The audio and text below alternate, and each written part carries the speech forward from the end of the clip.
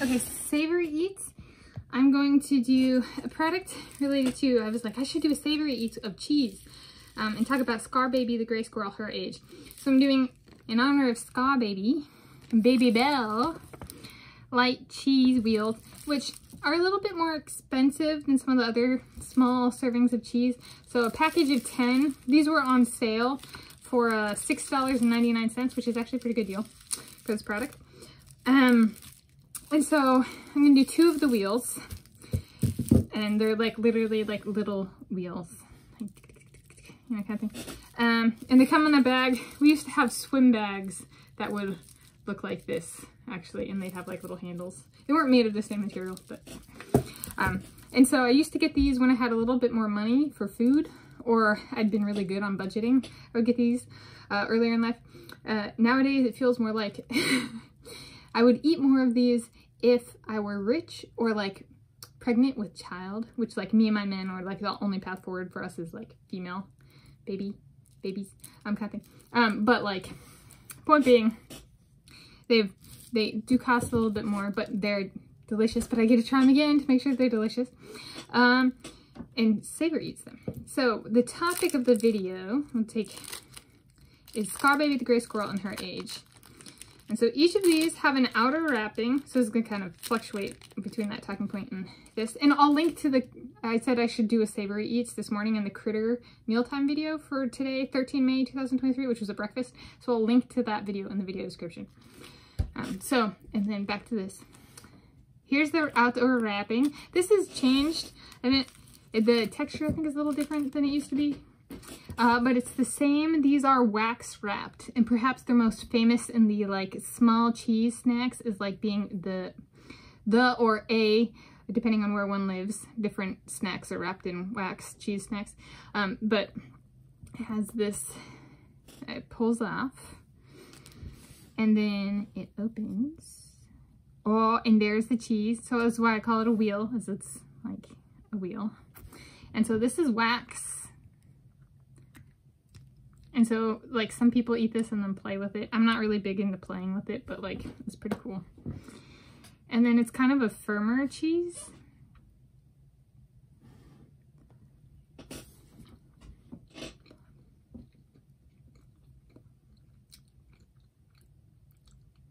Only problem with this stuff is it's so good. I could eat a whole bag. I've done that before.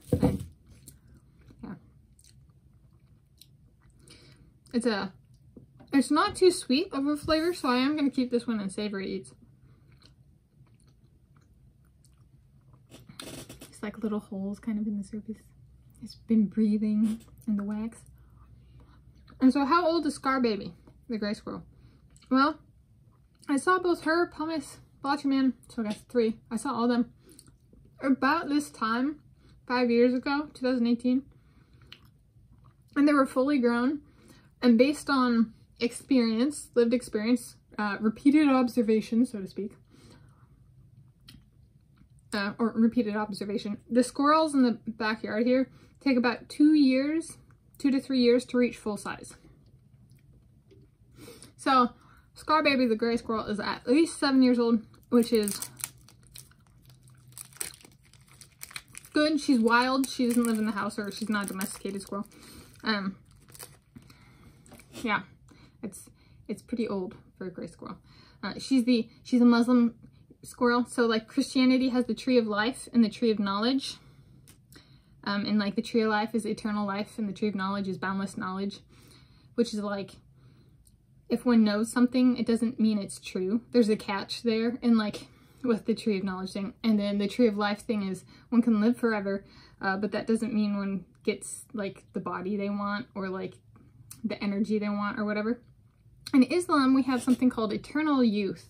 Eternal youth is um, different because you don't get to live forever. You still die.